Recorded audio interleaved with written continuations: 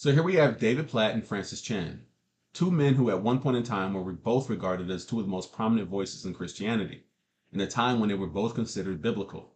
Well, now they're basically both considered false teachers. And in a lot of ways, I'm still shocked about how it all fell apart. Francis Chan was one of the first preachers that when I first got saved, I was basically devouring all of his sermons that he preached at his Cornerstone Church from the early 2000s. I had a playlist that I would just, you know, go through and just play his sermons he was one of the first pastors that I found when I removed myself from the uh, Word of Faith movement. And so it was shocking to me when he, he fell away uh, and re- basically revealed himself to be a false teacher. But I have been praying for Francis Chan, and I do hope that uh, he repents. Um, so and so here we have both men sitting down. It looks like they've become great friends. They're having a discussion. And I want to play this clip and basically interject my own opinion at points where things stick out and I feel need to be addressed. Francis, it's really good to be together, man. It's, uh, I thank God for uh, bringing our paths across each other many years ago at Passion. And uh, it was right after Crazy Love had come out. Yes. And Radical. And I remember Heather read Crazy Love before I did, and she was like, did you did you copy Francis's garden? so, so I know I didn't I didn't read it, but anyway, just kindred heart from the beginning, and uh, and then fast forward to right now. I think I would say for both of us, um, there's a lot of burdens on our heart and excitement, exhilaration, really on our hearts for this time and place we're in. So let me just ask you, like, what, when it comes to things that are burdens on your heart or things that you are really uh, exhilarated about uh, in this time and place, where does your mind go? Gosh, I think uh, burden goes to division in the church. We're just kind of following the pattern of the world. Or maybe we set the pattern mm. in our devices and just uh, just a lot of fighting over things that aren't essential. We're not giving each other the benefit of the doubt. People are quick to leave churches and Okay, a couple things of concern that stood out to me here. The first thing Francis reveals is, as he puts it, it's been a burden to him because of the division within the church.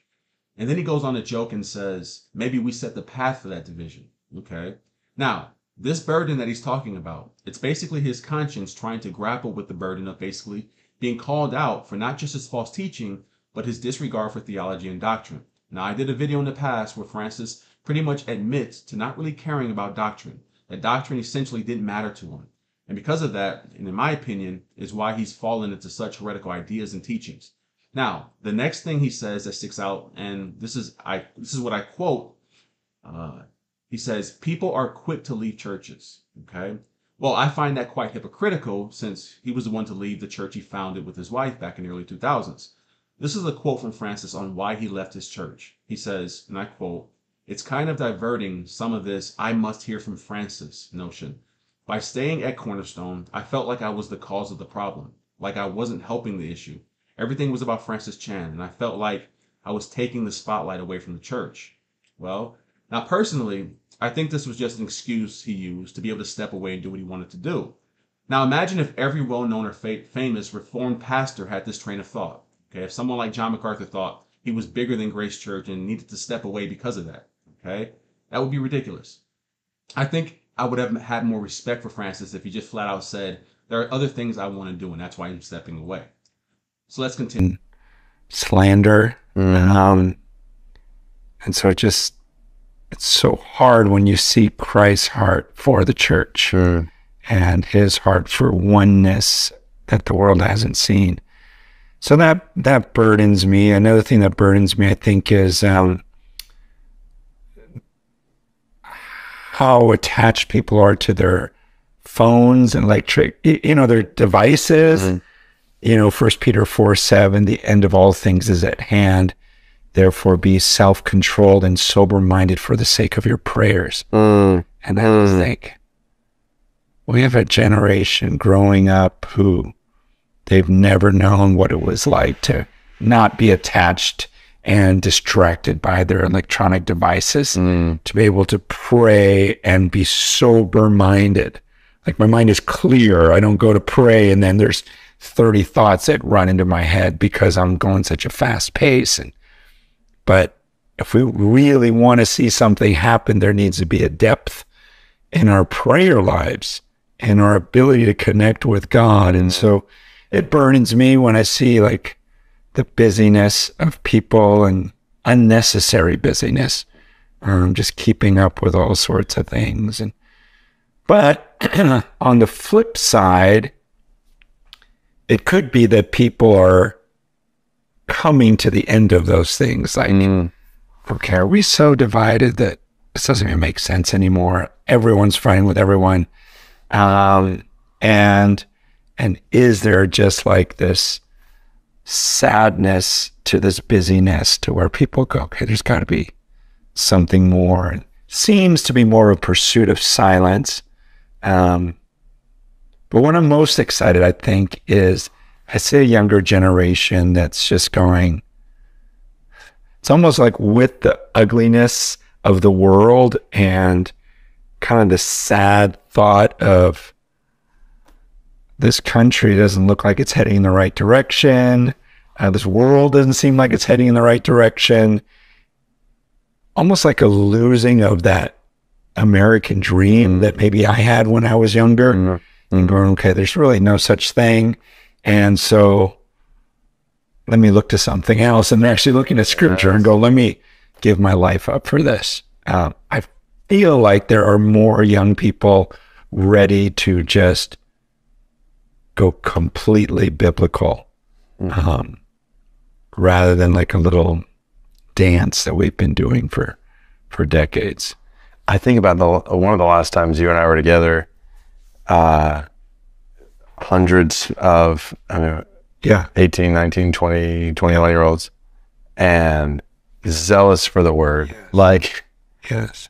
that morning you and I spoke. Like, I mean, they're, they're just, it, it's not like they were sitting back, like, like on the edge of their seat, even standing on their seat, like Yeah. open to Romans. They're like, in Romans. Like, they, Yeah, yeah, yeah, yeah, yeah. And like praying for hours at a time. Uh, or that morning. So we, we got there. They were they were praying and worshiping for hours one night, and then the next morning they got up at like eight o'clock and got together and prayed for the nations. Yeah. they're praying for all these different, and so I, and from a variety of different backgrounds. Yeah. I just think about exact like putting those two things together. What you just said, there is a hunger for Yeah. one, not the turf wars. Like Yeah. just we we love Jesus, we love His Word, Yeah. and uh, and we've got a variety of differences. Yeah. But, but these things the same. And we, uh, I know we were just having lunch with another brother, uh, Andy Byrd, uh, who like we all have differences. Yeah. In a variety of different ways. You know, there's a a beautiful Yes. depth of like family and unity that we were talking about that uh yeah that that is actually the depth is highlighted when we are honest about those differences Yes. but we cling to that which like we love jesus we love the word and we want to get the gospel to the world and we want to see spiritual awakening in our country like Yeah. um So anyway the common theme here, if you've been paying attention, is differences. You've heard both David and Francis hark on this idea that we all believe different, but so what? This is about unity. It's almost as if they're saying, you believe what you want to believe, and we'll believe this, and we can still come together in fellowship. Now, that's bad for a few different reasons. Right now on my channel, I'm working my way through the book of Romans, and we are currently in chapter 3. And one of the prominent points that Paul makes throughout the second and third chapters to the first century religious Jews and this includes the Pharisees, the Sadducees, the Zealots, and so on, was this idea that everything regarding salvation had to do with faith, not circumcision. See, these men all believed different things. They had, you know, different gods, and for them, that was okay. They were able to come together and fellowship with each other, even though they had differing views on God and salvation. And that there was the problem for Paul, because Paul declared boldly that there weren't many ways, it was just one way. So whenever I hear David and Francis talk about how we need to come together in love regardless, you know, regardless of what we believe, I'm always reminded that there must be division. Okay, and, and in the words of the great late theologian R.C. Sproul, truth divides, and it has to. It's supposed to. And so here's the thing until both of these men repent and stand firm on biblical truth or stand firm on something, okay, uh, something, they will continue to have this problem that seems to be a burden to them. They know that they're wrong. They know it. And this is why this is such an issue for them.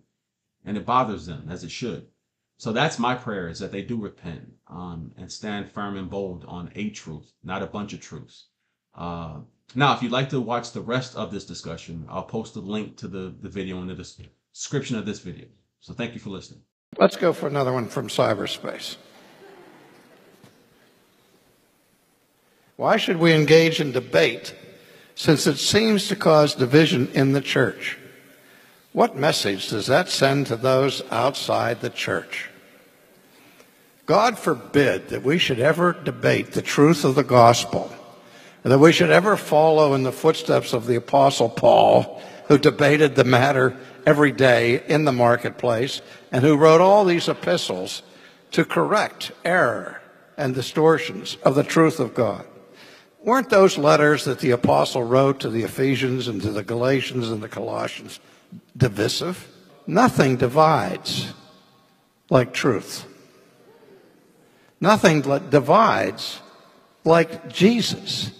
But we have this idea that the only real sin that you can have is dividing a church. Well, there are churches that need to be divided. And they need to be divided not over minor matters, not over peccadillos, but over substantive issues of the truth of God. And our Lord, when he was asked by Pontius Pilate, you know, what are you about? He said, I came to bear witness to the truth. And those who are of the truth hear my voice. And then the next thing Jesus said, but I sure don't want to divide anybody over the truth. Thank you for laughing, but it's really not funny. But that's what, I mean, they said the worst thing you can say is the truth is important. And when you, when you do that, then what happens is the truth gets slain in the streets and anything goes.